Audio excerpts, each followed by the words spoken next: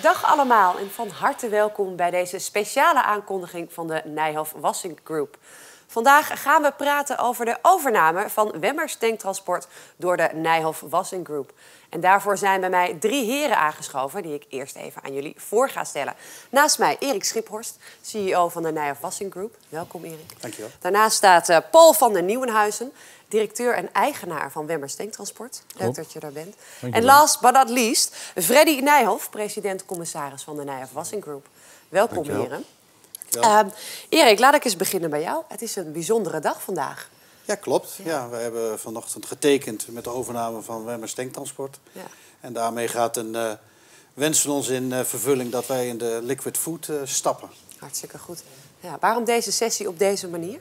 Ja, deze sessie moeten we helaas zo houden omdat wij de mensen niet kunnen benaderen rechtstreeks in een theater of kunnen bezoeken door corona. Nee. En we hopen toch de mensen zo te bereiken in dit heugelijke nieuws. Ja, zeker. We gaan jullie daarbij betrekken, want het is een belangrijke stap die gemaakt gaat worden per 1 januari 2022. Ja, Paul, ik begin maar gewoon direct waar het over gaat. Waarom verkopen?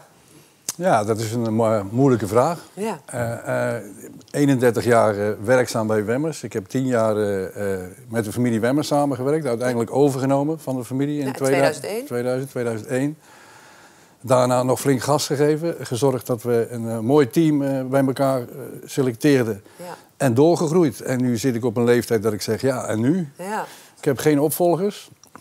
Ik heb geen kinderen die erin kunnen stappen. Dus ja, dan moet je verder denken. En dan Ja. denk ik dat deze stap een hele goede is.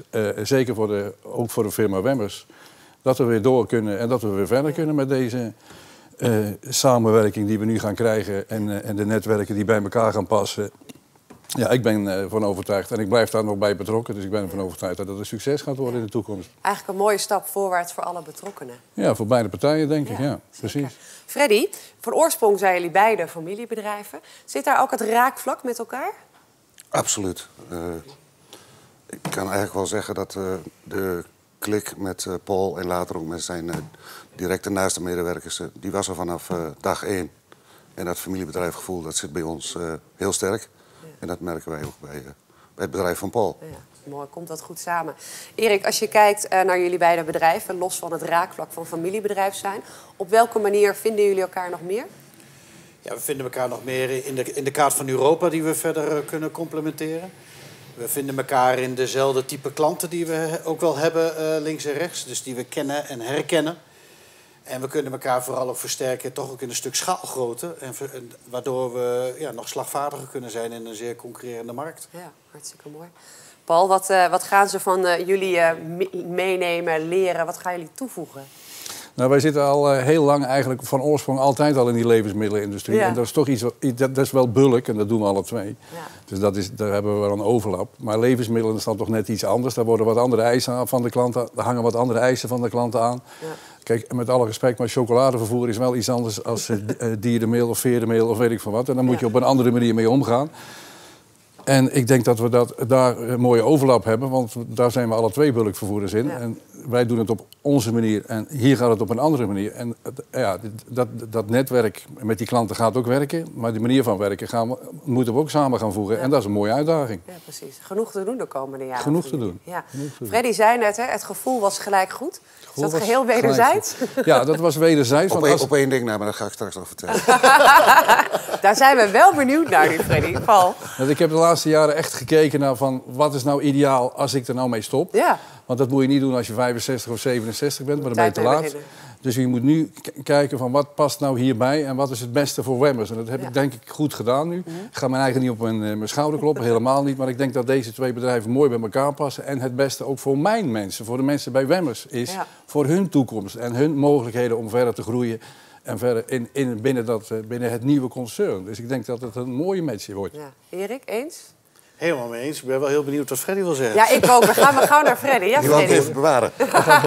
nou ja, wij, wij, eh, wij zijn natuurlijk ook al een paar jaar aan het focussen op. We hebben twee takken van sport, chemicals en feed. En eh, we hebben ook lang nagedacht over wat zou een nieuwe poot onder onze logistieke onderneming kunnen zijn. We kwamen wel snel op voet. En we hebben ook eh, gesprekken gehad met eh, een concurrent van Paul. Maar dat is het uiteindelijk niet geworden. en eh, wel heel blij dat wij zo'n belangrijke speler in die foodmarkt binnen ons bedrijf kunnen halen. Ja, heel goed, mooi.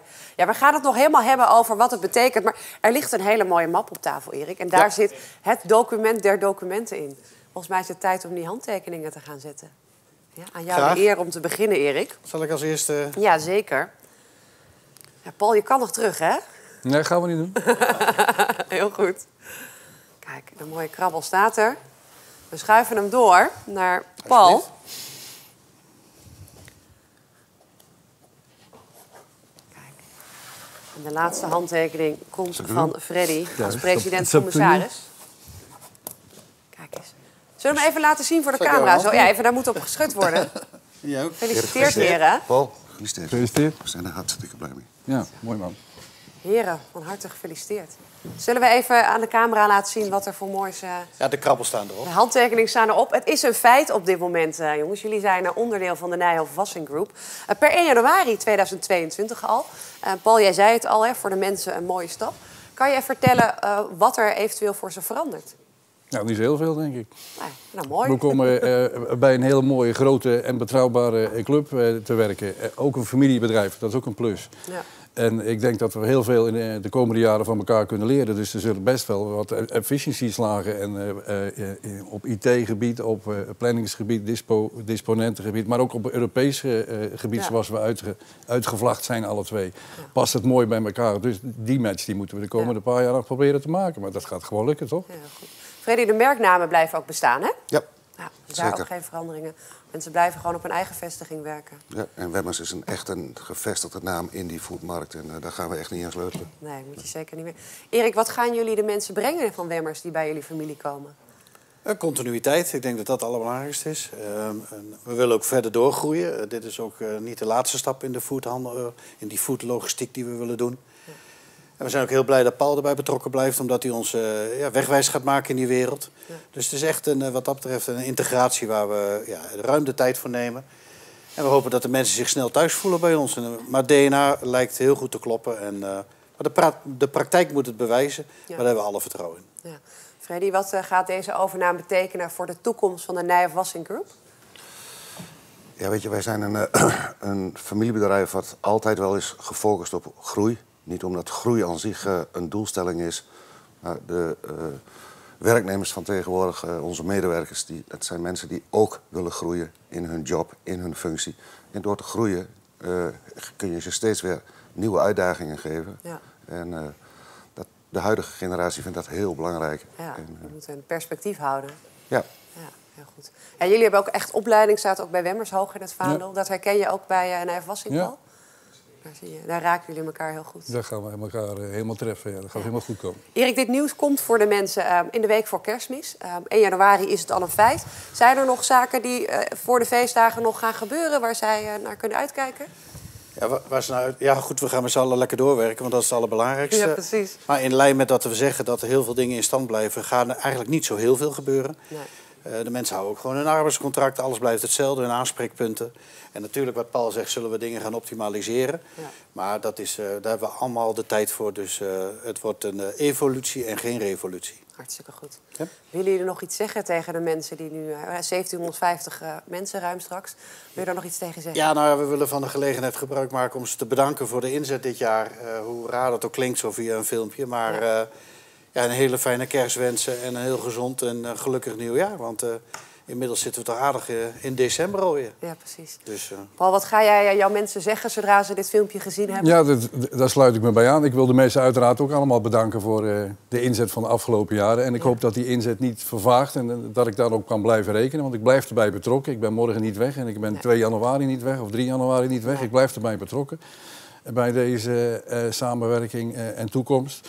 Dus ik wil de mensen be- nogmaals bedanken voor de inzet. Ik wens prettige feestdagen, want ja, we kunnen er ook geen zaaltje huren en er 100 Nee. of 200 mensen inzetten. Dus Helaas. het moet dan maar even op deze manier. Ja. En ik hoop dat, eh, ik, dat ik de goede zet, en ik ben, er- maar ik ben er wel van overtuigd dat ik de goede zet gemaakt heb. Ja. En ik denk eh, dat het voor ieder, ook bij Wemmers, een, eh, een, eh, een, eh, ja, een succes gaat worden. Ja, zeker. Freddy, ik zag jou instemmend knikken. Jij bent ook overtuigd van dit succes, hè? Ja, weet je, eh, ik was vijf jaar toen mijn vader met zijn eh, eerste vrachtwagen begon. Dus ik heb het vanaf eh, dag één meegemaakt en de mensen allemaal zien binnenkomen. Ja. En ondanks de omvang die we nu hebben, waar, waar je zelf ook wel eens een beetje bang van kunt worden, willen we dat bedrijf blijven met die korte lijnen en rechtstreeks benaderbaar. En we zijn allemaal gelijk. Ja, en fijn dat Paul nog even blijft.